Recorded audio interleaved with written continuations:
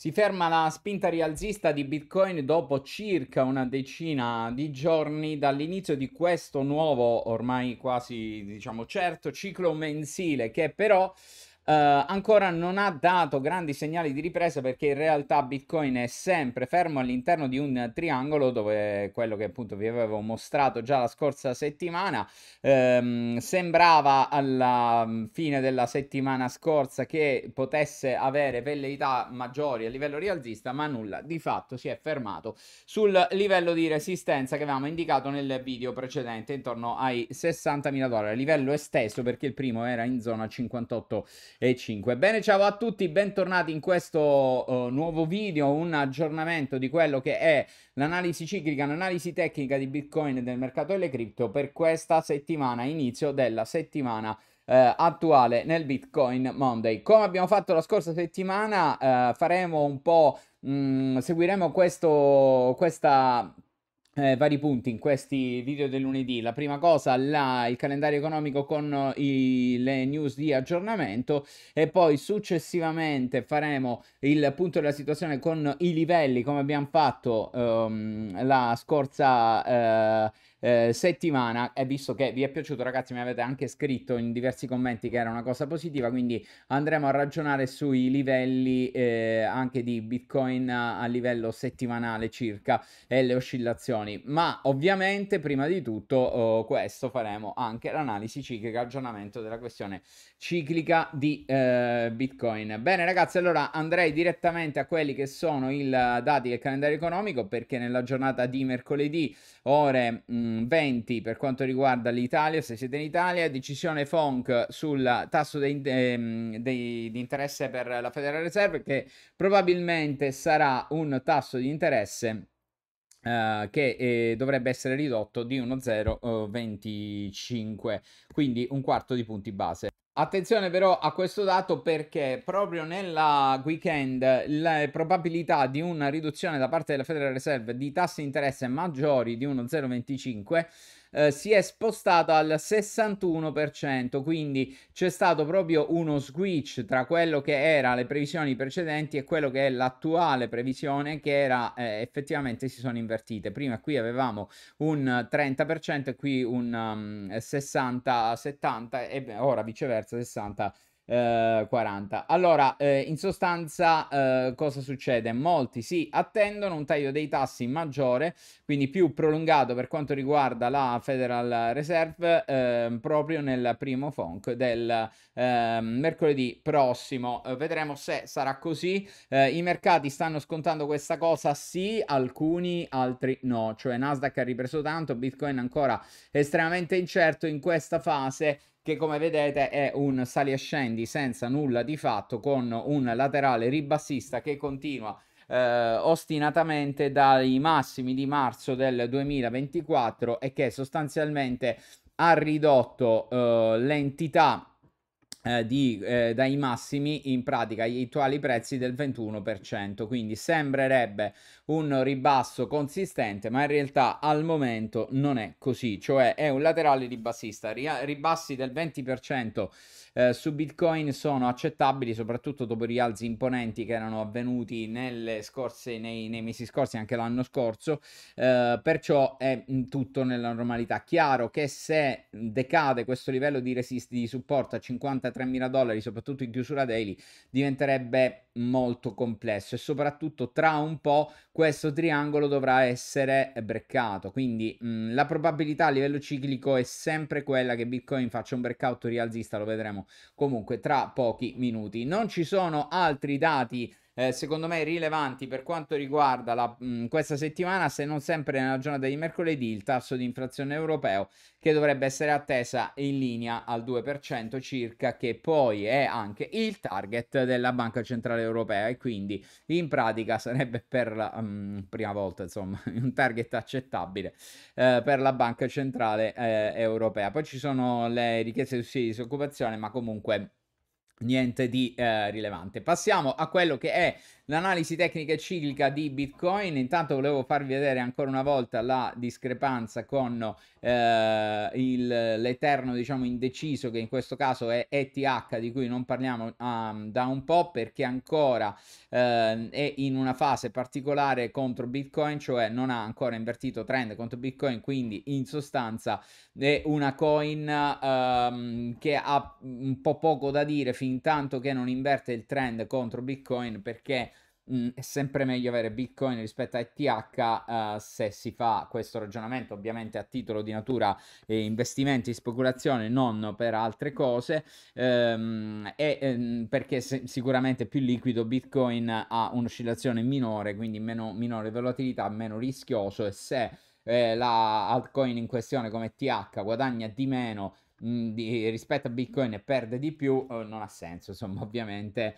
eh, puntare su questa. È un po' la sofferenza che sta avendo, ma io credo che questo dato eh, sarà ehm, a le gambe corte, perché se dov- dovremmo assistere poi a un cambio eh, di passo anche delle altcoin, Ethereum sarà la prima a dimostrarlo. Ovviamente non cambia nulla per noi perché tanto quando invertirà il trend lo andremo poi a tenere sotto controllo. E questo il eh, trend sempre Ethereum Bitcoin, come eh, vedete, insomma, in perenne fase di declino, eh, ormai dai massimi del dicembre 2021 non ha più recuperato un trend mh, mm, rialzista, se non comunque è in una fase anche questa mh, mm, laterale è un po' difficile da dire, di un ribasso non eccessivamente importante.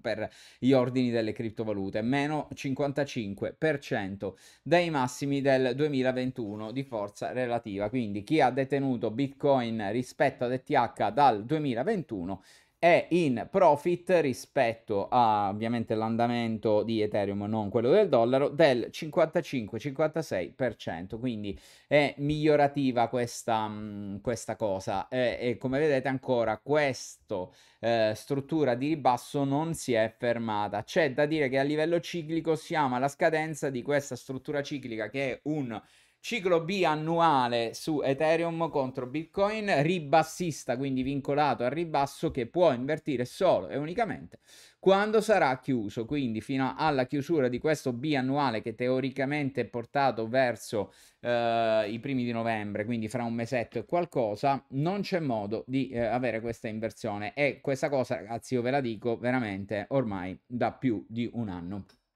Eh, a dire la verità, la prima volta di cui ho parlato di questa questione era, se non erro, alla uh, Blockchain Week Rome del 2022, ragazzi, eh, giusto per dire questa cosa. E da lì non è mai cambiato nulla. Ho fatto anche una serie di space tempo fa dove mi sono preso un po' le ire no, degli amanti di Ethereum, che comunque non c'entra nulla l'andamento eh, dei prezzi di un altcoin con la sua tecnologia o, o il suo modello di sviluppo. E poi questo è comunque un andamento che può essere reversato in pochissimo tempo, quindi ancora una volta è solo una questione di chiusura di questa struttura ciclica. Poi potremmo andare ad analizzare la questione quando la struttura ciclica sarà chiusa, ma al momento, fino alla chiusura della, um, di questo biannuale ciclico, non c'è storia per ETH e infatti è così che sta uh, avvenendo ancora in questo caso. Uh, allora, mh, mm, andiamo a vedere la questione invece di ciclica di Bitcoin che aveva performato bene nell'inizio di questo ciclo mensile, facendoci anche ben sperare che potesse essere confermato poi l'inizio di un nuovo annuale perché ricordiamo che il 5 di agosto è avvenuto comunque un minimo importante, ma poi eh, è stato reiterato questo minimo in chiusura il 6 di settembre con una specie di doppio minimo in chiusura, non sul lasciato, quindi sulla chiusura che è intorno ai 54 mila dollari circa, eh, e da lì è partito un nuovo ciclo. Quindi se questo ciclo mensile è parte del nuovo annuale, ovviamente deve rompere questo massimo. Ma se non è così, eh, attenzione perché? Perché questo ciclo mensile è solo destinato a scendere, quindi o è il primo del nuovo annuale o il secondo, se qui si considera diciamo questo minimo, alcuni lo considerano, altri no, dipende da, insomma, dalla vostra tecnica dell'analisi ciclica, ma non cambia perché anche se il secondo comunque deve spingere, ehm, se in, non, non spinge ragazzi e non supera almeno questo breakout, almeno si avvicina a questo massimo, è pericolosissimo perché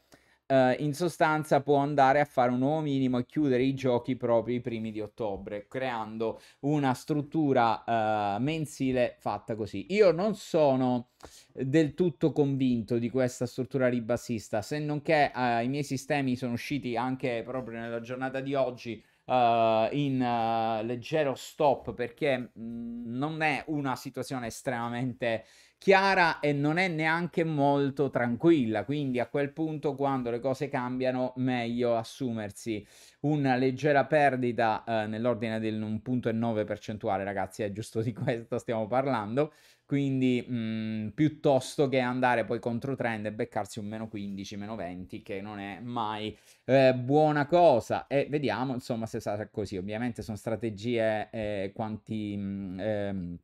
di analisi quantitativa eh, e quindi ovviamente hanno tutti i livelli già eh, predefiniti in partenza. Io però ancora a livello personale non sono convinto, nonostante segua alla lettera i miei sistemi come deve fare un buon trader, un buon investitore, però non sono convinto perché ehm, secondo me questo mensile poteva essere anche quello buono per vedere un po' la luce. Vediamo un po' se sarà così perché se le questioni si mettono male anche su questo mensile a me vengono una serie di dubbi proprio sulla tenuta dell'intero movimento e quindi mh, mm, insomma ne parleremo poi nei prossimi video perché volevo appunto uh, rendervi partecipi, sicuramente lo farò, qualora questa struttura non reggerà in sostanza ragazzi, qualora questo livello tecnico venga breccato al ribasso, solo in quel caso ne parliamo però prima non ha molto senso. Allora, la struttura in questione è una chiusura di un ciclo che si chiama eh, B settimanale, in questo momento sono 10 giorni circa, quindi può essere un 10 giorni o continuare fino a 15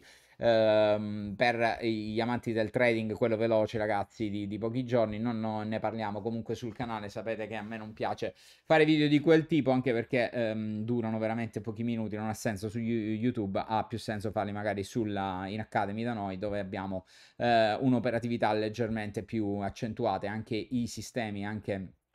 le conoscenze per fare queste cose. Eh, allora, qui in ogni caso siamo a 10 giorni dall'inizio del mensile, quindi teoricamente, se questo è un mensile rialzista, deve rompere questi massimi qui e a questo punto abbiamo un livello di resistenza che è in, um, importantissimo, cioè dobbiamo andare sopra i 61 mila dollari. Se non va sopra i 61 mila dollari Bitcoin, allora questo mensile ha un grande rischio, quello di trasformarsi in un mensile ribassista e che si vincolerà al ribasso andando a rompere questo livello di pricing proprio qui. Lo vedremo anche nei livelli di questa settimana. Io però sono ancora dell'idea che eh, il mensile in questione possa tentare una strada di questo tipo. Eh, ripeto, è eh, una mia idea, opinione che non è un dato oggettivo dato su altre cose, ma è una mia idea che ovviamente io non seguo ragazzi, vi sto dicendo questa cosa perché io seguo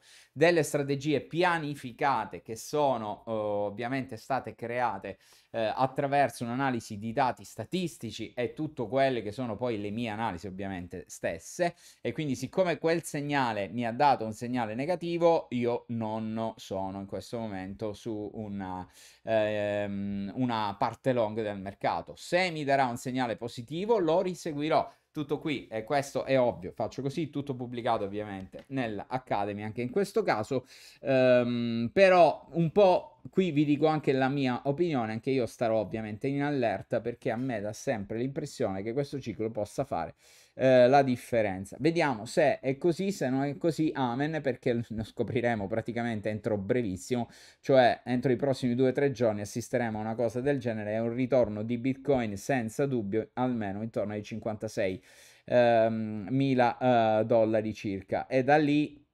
un rimbalzino che potrebbe essere in effetti quello del gatto morto eh, fino ai 59-60 questa zona qui per poi andare a chiudere il mensile e quindi trasformarsi probabilmente in un bagno di sangue leggero diciamo così a chiusura però anche di tante cose che secondo me può essere interessante eh, a livello proprio di ciclicità dell'annuale. Quindi eh, questo il, um, la questione attuale ed è così che siamo messi. Andiamo a vedere invece per la, gli aggiornamenti di queste eh, settimane nuovo, i nuovi aggiornamenti di analisi tecnica per quanto riguarda i livelli della settimana. Lo scorsa settimana avevamo livelli di supporto e di resistenza che mh, mm, eh, sono stati poi breccati, quindi la decisione del mercato è stato quello di andare a rialzo. Qui veramente abbiamo un macello, guardate che cosa c'è di eh, supporti, cioè praticamente c'è una super congestione in aria 60.000 dollari. Questa è un'area di congestione con un solo livello di supporto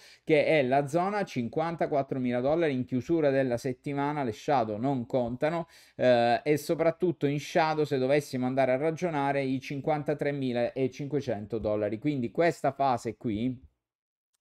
Uh, è una candela che potrebbe essere ancora una volta purtroppo un inside, cioè andare a ricoprire l'intera candela verde pre- eh, precedente. Attenzione perché come vedete anche in questo contesto per avere velleità rialziste, quindi rispostarci sul lato alto di questa eh, canale, di questa barra di congestione, Dobbiamo prima superare lo scoglio dei 61.000 dollari. Se verrà superato sarà anche una view ciclica, secondo me, importante che potrebbe darci il là per ritornare all'altro livello successivo poi di eh, resistenza di cui magari parleremo nelle prossime, eh, nei prossimi video, che sarà comunque eh, questo qui, intorno ai 69. Qui alla fine si evince nel grafico di natura settimanale, che è quello più lungo, è il migliore per fare investimenti di lungo periodo, si evince in maniera chiara Uh, che in realtà qui è solo un laterale ribassista, tant'è vero che se andiamo a vedere anche il dato in chiusura è ancora più evidente questa cosa, è molto simile questo uh, andamento a quello che era qui per esempio, no? È anche vero che alcuni dicono, ah, è simile anche ai cicli di distribuzione, cioè questo qui sarebbe simile a questo. In realtà questo è molto più intenso e ha molto più un trend al ribasso rispetto al, a questo qui che in realtà non ha nulla, è solo un grande casino, scusatemi il termine, di alti e bassi, eh, varie liquidazioni e eh, affini, ma non è che abbia eh, un trend vero e proprio. Tra le altre cose ha ancora al di sopra del livello della media a 12, eh, a, questa qui è la media a 52 settimane, che è la media che uso per i cicli annuali e mh, nulla vieta appunto che qui il mercato possa ritornare sui suoi passi anche a livello rialzista. È il motivo per il quale io più volte vi sto dicendo che sono um, un po' titubante no? sulla continuazione di questo movimento ribassista. Forse magari a livello ciclico può starci ancora fino alla prima decade di ottobre, ma comunque abbiamo i giorni contati, quindi un po' il dubbio mi rimane. Se continuerà infatti dopo già quei livelli sarà secondo me estremamente più pericoloso. Quindi livelli per la settimana 61.000 dollari senza ombra di dubbio, 60.561 61 come aria e al ribasso 54.500 eh, dollari. Va bene ragazzi, allora per oggi è tutto, io sono fuori, sarò fuori fino a ottobre, quindi eh, ci rivedremo un po' così e soprattutto non sono oh, sicuro di riuscire ad aggiornarvi anche ehm, con i soliti tre video settimanali eh, vedremo un po' il da farsi eh, se riuscirò volentieri ragazzi altrimenti abbiate pazienza ne usciranno un po' di meno anche per questi giorni. Ciao a tutti alla prossima